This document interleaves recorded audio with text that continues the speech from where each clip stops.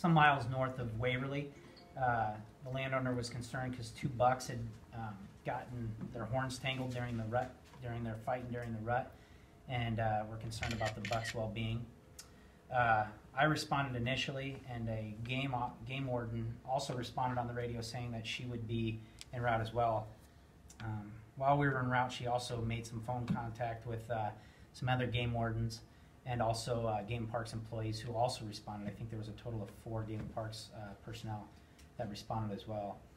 Um, when I arrived, the two bucks were down in the in the creek bed behind the farmhouse, um, still locked up. The one was pretty exhausted and laying around. The other one, you can see from the video, was still pretty agile.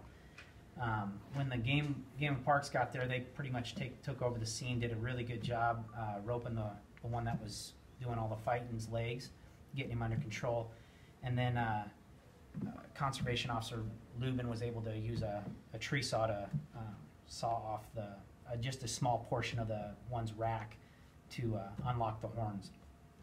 The video doesn't show that part. I ran out of video on my phone, but uh, it the one buck got up right away and ran off to the south end of the cornfield.